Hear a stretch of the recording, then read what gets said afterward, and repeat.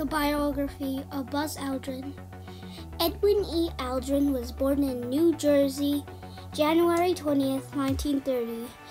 He got his nickname Buzz from his sister who mispronounced brother to Buzzer. He was born in a middle class family, had a sister, and both of his parents were military officers, which inspired Edwin to become one too. He was an Air Force pilot in the Korean War and work in West Germany and continue and gets a PhD from MIT, Massachusetts Institute of Technology.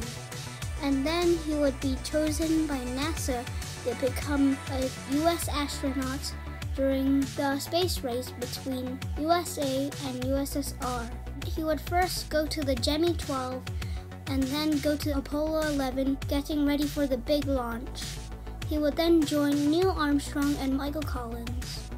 And as they went up there, the countdown started and they launched on July 16, 1969. Saturn V rocket would then split into smaller pieces, orbit the Earth and the Moon, and then they would start the crew to go into different areas. Michael Collins would be in the control module known as the Columbia, and Neil Armstrong plus Buzz Aldrin would be an Eagle. They landed on the moon approximately for 21 hours. As Neil said through the communication system afterwards. They had landed on July 20th, 1969.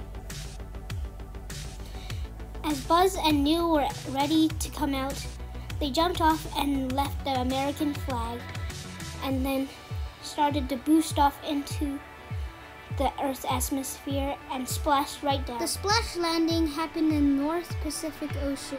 He would then spark curiosity in younger generations by making different books for children. He would also keep making speeches all around the world.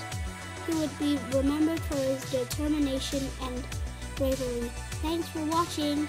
Bye!